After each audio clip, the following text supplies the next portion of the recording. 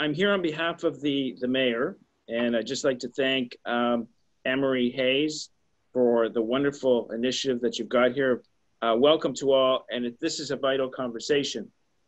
And um, although John mentioned in the past, we all have a personal connection with uh, with driving if we have kids. And as a father of four, um, one of the most nervous things uh, that I had to deal with uh, in, in their growing up uh, was when they started taking their driver's lessons and learned how to drive and did their tests and then asked to borrow the car. Um, it always uh, came as a stressful situation, not so much from what my kids would do on the road, but worried about some of the other craziness uh, that was going on. Now, before the pandemic came, um, councillors' offices, the number one issue that came to councillors' offices, at least the ones I speak to, um, was traffic safety, traffic congestion, and traffic volume.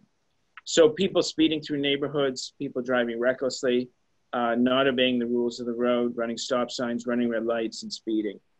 And the city has seen a spike in street racing and stunt driving on our public roads because our public roads are primarily quiet these days, as many people stay home and do not commute take their normal commuting pattern uh, into work, nor are they going out to stores. Although as we open up, I imagine that uh, congestion uh, will will increase. When it comes to racing and and stunt driving, the, the tragedy of it is not only the people behind the wheel who are being irresponsible, lawless, and reckless, but it often um, kills or injures innocent bystanders who have nothing to do uh, with the with the bad choices made behind the wheel, and that is that is a tragedy on top of a tragedy.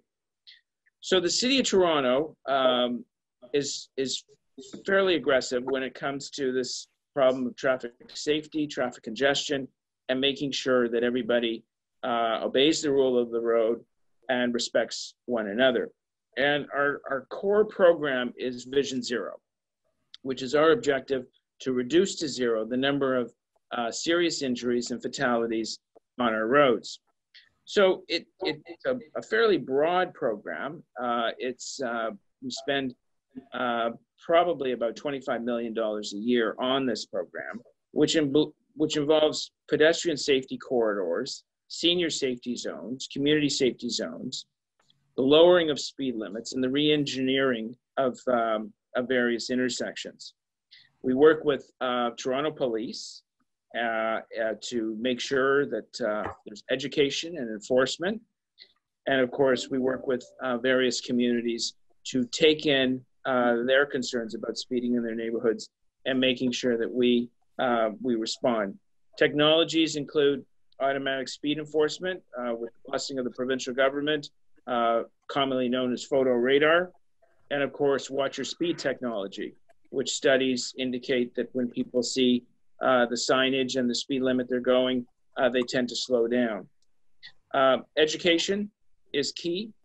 Uh, various technologies uh, to, to encourage slower driving, making sure that the criminal justice system and, and the police, police officers are there for enforcement, and of course, um, penalties for abuse, making sure that um, we work with our various stakeholders uh, to to continue to implore on on young people who are the primary uh, people behind the wheel for stunt driving and street racing uh, that in fact the the um, repercussions are extremely serious. Uh, they could haunt you for the rest of uh, your life. You're putting others in danger. So with that, um, we continue to to roll out the Vision Zero program making sure our streets are safe, making sure pedestrians also understand their responsibility, preventative action, and of course, using all the latest technology uh, and tracking systems uh, to make sure that uh, we we catch early in the process those people who, by habit, are speeding, running red lights, uh, and running stop signs. And usually, if you stop them at a minor offense, uh, it's often a deterrent uh, on the speed racing uh, and stunt driving on the public roads. So uh, with that, I just want to once again um, thank teens learn to drive. This is a vital conversation uh, that we must have. Um, we need young people behind the wheel who are, who are thoroughly trained, uh, who have to make split second decisions. We want them to make smart choices. And usually, education and public knowledge uh, is, is the key, the upfront key.